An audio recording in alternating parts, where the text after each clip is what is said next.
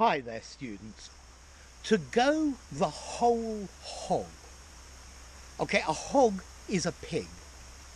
Okay, to go the whole hog is to do as much as is possible. Yeah? To do your very best. Okay? To go to extreme lengths. Okay, let's see. When it's Christmas, many families go the whole hog and they have a fantastic dinner. They have fantastic food to offer.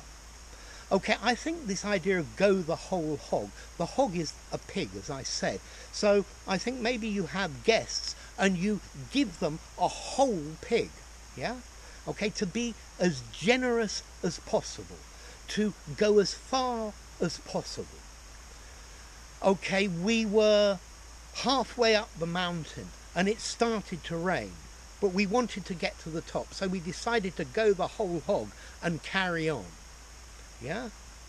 Um, if I were you, I wouldn't buy the uh, cheap model. I'd buy the most expensive one I could get.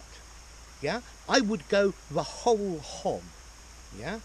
Okay? So to go the whole hog, not to do something in a timid way, but to put all of your resources or to go the maximum necessary.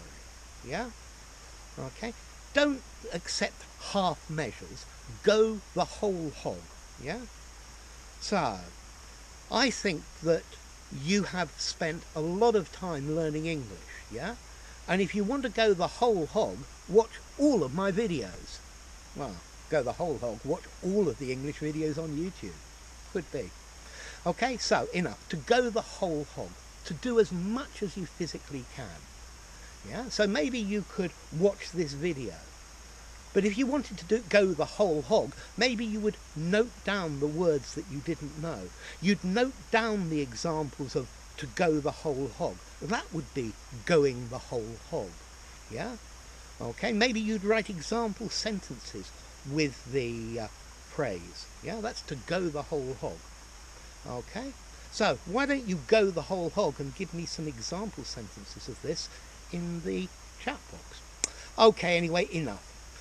If you enjoyed the video, give it a rating, subscribe to my channel, and I'll see you soon. Bye for now.